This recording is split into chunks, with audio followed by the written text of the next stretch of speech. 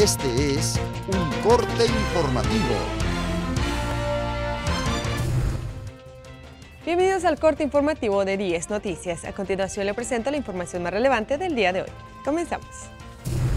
El gobernador Manuel Velasco entregó en tiempo y forma la cuenta pública 2013 al Congreso del Estado, que turnó el documento a la Comisión de Hacienda y Vigilancia para su análisis y dictamen.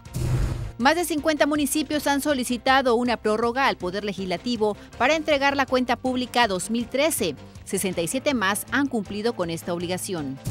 Se espera que la Secretaría de Turismo Estatal concrete negocios con turoperadores de España, Canadá, Colombia, Filipinas, Francia, Brasil y Estados Unidos durante el Tianguis Turístico 2014.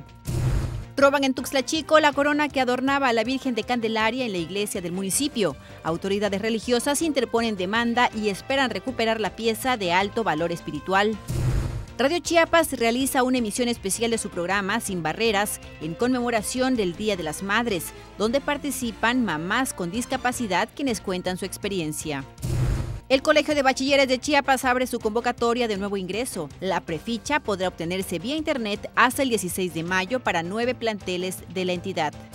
En información nacional, el Instituto Federal de Telecomunicaciones cambió la fecha de transición digital a noviembre, ya que la política establece que una ciudad debe tener el 90% de penetración digital para poder apagarse.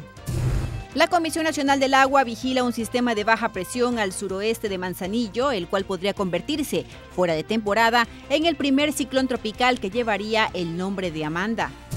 En cultura, los escritores chiapanecos Heraclio Cepeda y Elba Macías disertarán sobre Rosario Castellanos y Jaime Sabines en el Festival Internacional 5 de Mayo que se realiza en Puebla, donde Chiapas es invitado.